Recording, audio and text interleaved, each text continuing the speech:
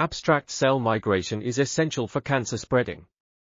AMP-activated protein kinase, AMPK, regulates cell migration by acting as a molecular hub that senses adhesions and controls mitochondria and cytoskeleton. In three-dimensional matrices, low adhesion leads to low ATP AMP levels, which activate AMPK and cause mitochondrial fission, decreasing oxidative phosphorylation and reducing ATP production. At the same time, AMPK inhibits myosin phosphatase, promoting myosin 2, mediated amoeboid migration. This mechanism is reversed when AMPK is inhibited, thus suppressing metastasis of amoeboid cancer cells in vivo.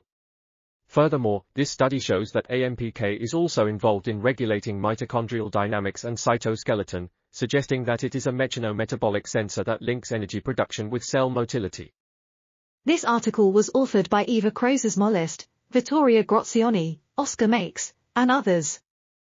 We are RTCL.TV, links in the description below.